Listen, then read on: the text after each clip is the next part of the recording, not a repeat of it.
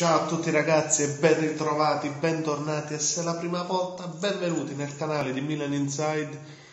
Oggi ragazzi prepartita di Empoli-Milan, partita fondamentale. Prima di cominciare però ragazzi gentilmente vi ricordo di lasciare un like al video, iscrivetevi al canale, attivate la campanellina in descrizione invece tutti i link dei profili social di Milan Inside, il mio personale di Instagram e il sito internet www.milaninside.com.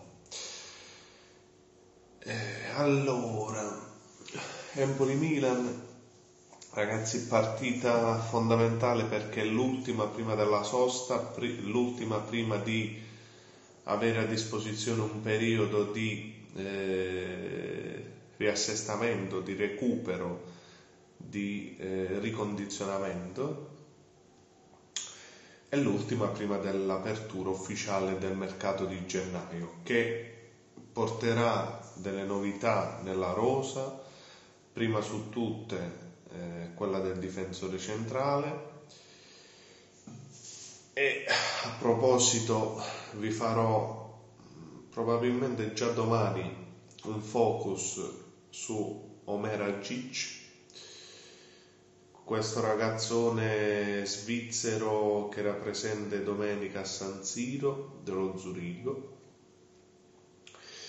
Ma prima del mercato concentriamoci sulla partita. Empoli-Milan, partita come dicevo fondamentale per chiudere bene l'anno, per riacquistare fiducia, per riacquistare credibilità e per riacquistare i tre punti che mancano da Milan Salernitana. Per quanto riguarda la probabile formazione, eh, abbiamo una bella notizia, una brutta notizia che si evince già dai convocati usciti poco fa e una novità, una novità di formazione. Allora, la bella eh, già eh, arrivata negli scorsi giorni il recupero eh, quasi sicuro di Teo che tornerà a occupare il ruolo di terzino sinistro. La brutta è la notizia eh, data direttamente da Pioli ieri in conferenza storica, in conferenza stampa dell'assenza di Ibra per un sovraccarico al ginocchio che quindi come confermato anche dai convocati, non, è stato, non sarà disponibile, non è stato giusto appunto convocato, quindi toccherà a Giroud.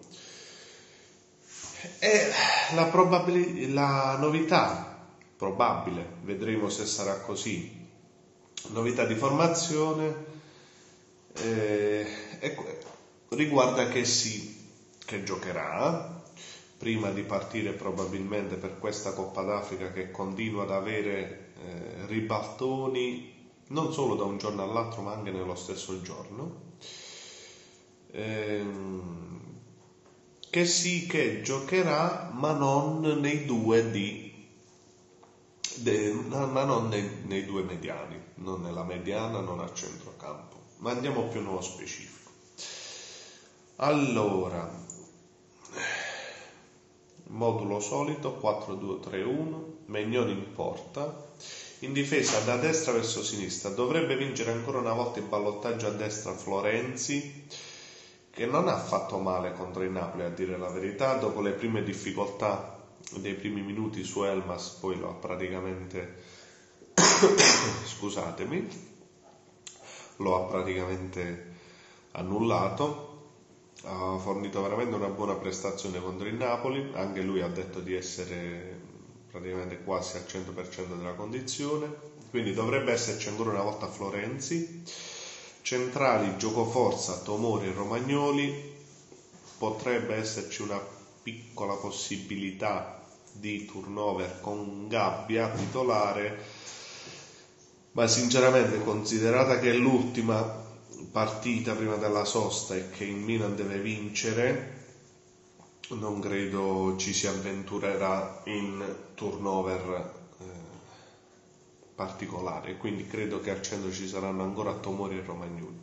A sinistra, come vi ho detto prima, dovrebbe recuperare Teo quindi dovrebbe esserci lui a posto di Ballo Touré.